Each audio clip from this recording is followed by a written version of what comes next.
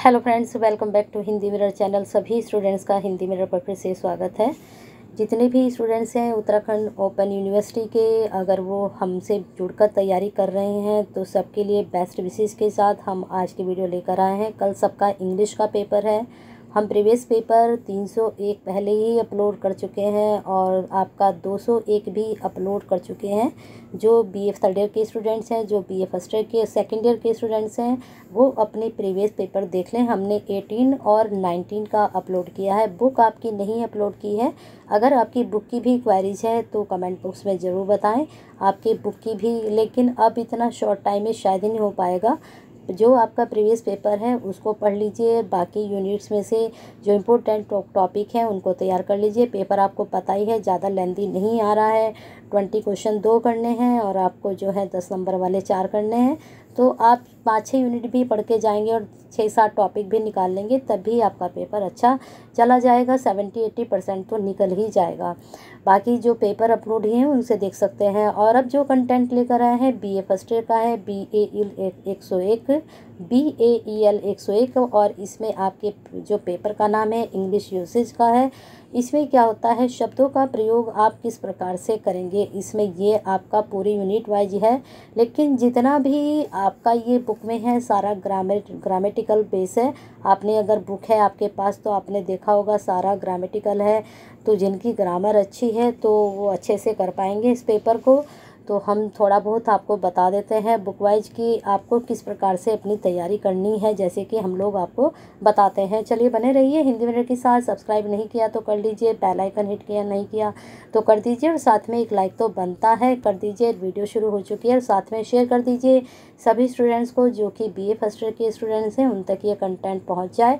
अगर आपके पास बुक नहीं है तो बुक भी आपको जल्दी ही मिल जाएगी टेलीग्राम चैनल पर तो आप कमेंट बॉक्स में भी इंक्वायरी सेंड कीजिए, इसके लिए भी कि आपको बुक भी प्रोवाइड करानी है। और आपको पता ही है, ये उत्तराखंड ओपन यूनिवर्सिटी की बुक है, आपके पास होगी स्कूल ऑफ़ ह्यूमनिटीज़। यहाँ पर अब पहले हम यूनिट चेक करेंगे, यूनिट में कितनी यूनिट हैं आपकी? यहाँ पर दी गई हैं, आपकी टोटल यूनिट है एटीन। ठीक है, अब एटीन यूनिट में से हमें क्या क्या पढ़ना है? आर्टिकल तो आपको पढ़ने की ज़रूरत नहीं है, मैंने प्रीवियस पेपर देख रही थी आपका। तो ज़्यादातर वहाँ पर फिलिंदा ब्लैंक्स जैसे आर्टिकल के फिलिंदा ब्लैंक्स भरने हैं। यहाँ पर आपके ये पास टेंस वगैरह जो प्रजेंट परफेक्ट टेंस है, ये चेंज करने हैं। मॉडल्स हैं टाइप ऑफ़ सेंटेंस है। तो इस तरह से डेफिनेशन ही सिर्फ़ पूछी गई हैं इनकी। ठीक है, और जैसे यहाँ पर ये प्रीपोजिशन है तो प्रीपोजिशन के ही मैं देख रही थी कि वहाँ पर ट्वेंटी क्वेश्चन पूछे गए हैं। यही पैटर्न है आपका ग्रामर का, जो पैटर्न है।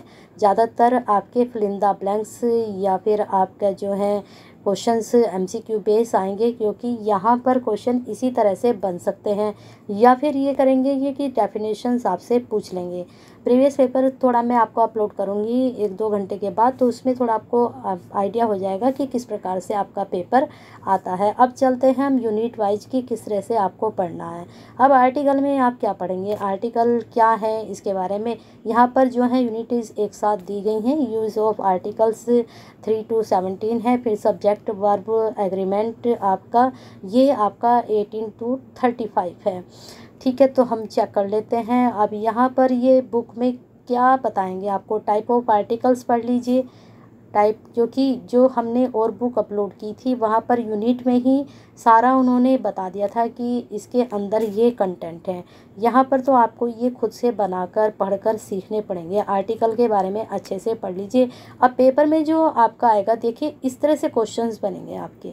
Use of article A N और द अब इस तरह से सेंटेंस देंगे तो आपको यहाँ पर ये जी जो आर्टिकल फिल करने होंगे। साउंड वाला पढ़ना चाहो, पढ़ लो, लेकिन आर्टिकल फिल वाला तो पढ़ ही लीजिए।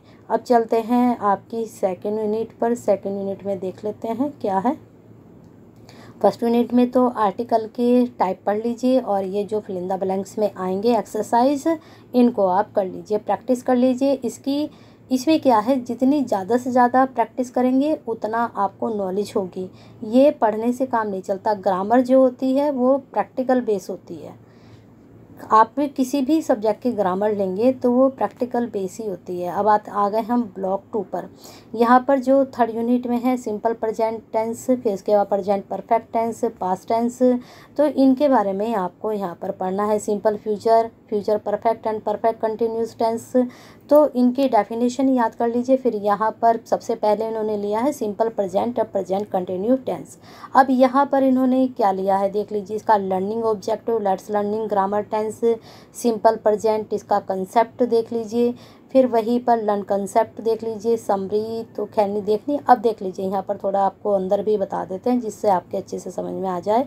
यहाँ पर ये पूरा टैली कर लीजिए, क्योंकि ये बुक बहुत अच्छी है और अगर आप अभी इसको अच्छे से समझ लोगे तो इन फ्यूचर भी आप अगर किसी कंपटीशन में जाते हैं तो उसमें भी आपके काम आएगी। ठीक है? तो इसकी जो कंटेंट है, बहुत ही अच्छा है और इतनी अच्छी बुक ग्रामर की आपको कहीं नहीं मिल सकती जितनी अच्छी बुक ये है। क्योंकि ग्रामर आप जो है अलग से भी सीखने जाते हैं इंग्लिश अगर आपको सीखनी है तो ये बुक आपके लिए बहुत ही बेनिफिशियल रहेगी। इस बुक को अच्छे से कंठस्थ, जिसको हिंदी में कहते हैं बिल्कुल अच्छे से पढ़ लीजिए। पेपर के पॉइंट ऑफ़ व्यू से तो आप पढ़ेंगे ही। वैसे भी आप इसको अच्छे से पढ़िए तो आपकी, मुझे लगता है ग्रामर बहुत अच्छी हो जाएगी। चलिए अभी आते हैं, पर आपका जो है वो हो चुका है tense, present, perfect tense tense में आपको सेम ही चीज़ें पढ़नी है। थोड़ा इसका अंदर से कंटेंट बता देते हैं। अब जैसे यहाँ पर है, ये पढ़ लीजिए इसका प्रीव्यू। प्रयोग पढ़ लीजिए, ठीक है? इसके बाद ये पूरा सिंगुलर प्लूरल कैसे फ़र्स्ट पर्सन में सेकंड पर्सन में थर्ड पर्सन में, क्योंकि इस तरह के आपके सेंटेंस आएँगे। अब इन सेंटेंस में जब आप पढ़ेंगे, तभी तो उन सेंटेंस को कर पाएँगे, क्योंकि जब तक आपके सामने पेपर प्रीवियस पेपर नहीं होगा, मुझे लगता है आप नहीं कर पा, कर पाओगे इसको। तो प्रीवियस पेपर मैं जल्दी ही अपलोड करूँगी। फ़िलहाल आप बुक में देख लीजिए, आपको किस तरह से तैयारी करनी है। ये टेंस वाला तो सब जगह एक से ही है सारे यूनिट में। अब हम चलते हैं नेक्स्ट आपके ब्लॉक पर ब्लॉक टू हो चुका है आपका। यहाँ पर ये सिंपल फ्यूचर पर हम आ चुके हैं। देख लीजिए, सब में एक ही चीज़ है।